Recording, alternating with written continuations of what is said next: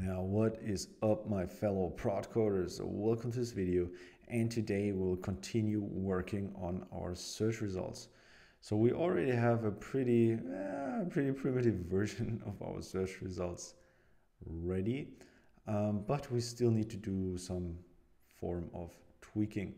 So let's go to the screenshot and if we zoom in a little bit, we see that the image somehow has a corner radius and that it has a specific aspect ratio. And I just wanted to, you know, uh, make sure that it has a proper aspect ratio and the proper border radius before we continue.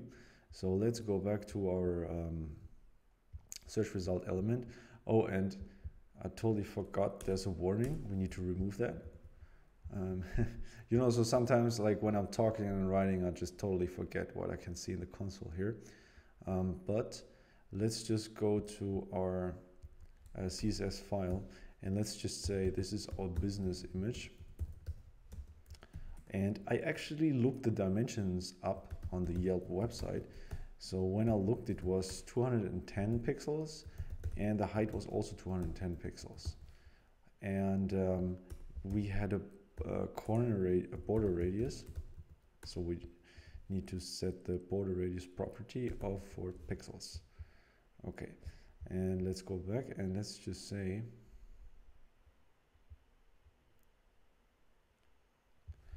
class name equals then styles and then let's use the class we just created business image. Okay that should do it and we want the 210 pixel version so bear in mind, like right now, we get a square image from this placeholder website. So theoretically, there's no really, not really like a need to specify this. But since we're going to fetch the images later on from the API, let's just, uh, you know, freeze the aspect ratio right on so that we don't have any problems later on. Yes, so that looks much nicer, like we have the proper sizing and some corner radius. So let's continue with the second part. Uh, the second part is this business info. And with business info, I mean this part here. So like some heading, uh, some rating as well, and uh, some tags. Okay, so that shouldn't be too hard. This one is probably just some uh, title. So we already have the documentation up. So if we go to documentation and then it is title, and we also use that again, but I just wanted to show it to you again. Um, if we give our h1 or h2 the class subtitle, uh, then we will have like a, a proper styling or like a proper sizing.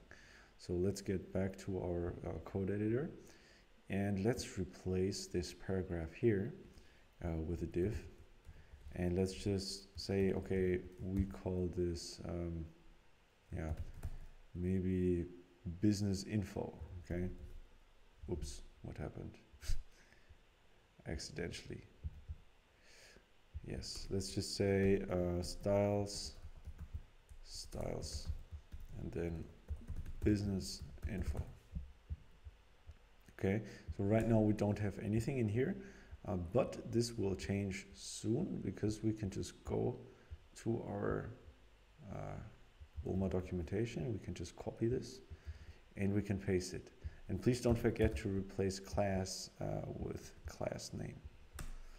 And um, well, what was it? So it's numbered first of all. So you have first, uh, second, third. And then you have BBI Berlin Burger International. Just doing some advertisement for them, but that's fine. Um, yeah, maybe let's leave the number out for now uh, because we don't know like at what position this item will be displayed. Maybe let's just uh, say burger place. Okay. Uh, nice. So here it is, burger place. And uh, this is our text, so that's okay. And in the next, so next up, we have this rating. Um, let's do that later. Let's first get the basic structure done. So I'm just going to put in a placeholder and call it rating. And the next thing that we have in here is the indication of how pricey it is and some tags. So the indication on how pricey it is, that should be pretty easy because we can just go in here and can say, okay, let's just add two, yeah, actually we should add dollar signs here, right? It's just because we search for Berlin that it's showing like euros. And yeah, so let's add these dollar signs in here. And we also need a couple of tags, right? Something like uh, burgers, fast food, these kind of things. And fortunately, we can we already have these tags element these tag elements here in Bulma. So we can just go to tags under elements. And here we see that it's just a span that has the class tag. So that's pretty cool. Super easy and straightforward.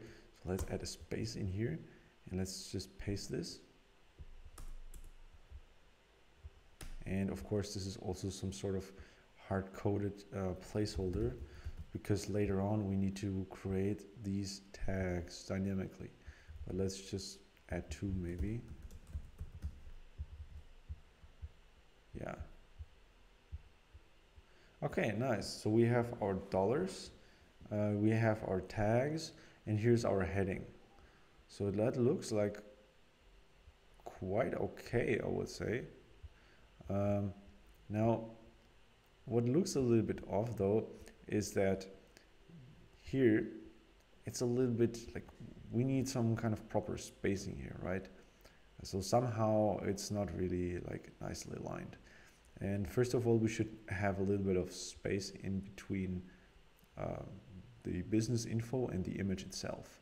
So let's just go back and say to our CSS file, and then we could either say margin right something or we say margin left here. So actually it doesn't really matter. So we can say margin right one, uh, one rem maybe just to give it a little bit of room to breathe. And this is pretty cool. Yeah, that's nice. And what's also a little bit, what's also, what also looks a little bit off in my opinion, is that the tags we have right now, that there is this weird um, spacing. Because in here, it should actually have a little bit of space, right? So I think one way to work to work around this would be to just yeah add a space maybe in between. So let's go back to our thing and if we add a space since we are inside a paragraph yes. Then we have a little bit of spacing. So we will take care of that uh, in a second because right now we don't have any dynamic tags so we're going we're soon going to talk about how to do this if we have uh, yeah real data dynamic data. Cool. So what's still left is this address data field here. Mm, let's just see what we can do about that. So somehow it has this uh, phone number and then it has some address. So let's just hard code some phone number in here. So let's first of all create a div and in here we can just add some phone number. So I don't know plus 49 I think it's not a valid uh, German phone number though but that doesn't really matter right now and then we can say uh, example street example street uh, 5 and then we need some zip code. So one two three four five maybe. I think it's always five digits in Germany. And then you have the city Berlin okay so if we go in here yes we see that we have some text here at least uh, but the text is kind of big so what we want to do is we want to make this a little bit smaller and also make this business info part a little bit bigger because otherwise it looks so cramped. Uh, but I already see that we almost hit 10 minutes. So let's just uh, continue working on this in the next tutorial. Thank you very much for watching. Please make sure to give the video a thumbs up and please also don't forget to subscribe to the channel if you haven't already done so.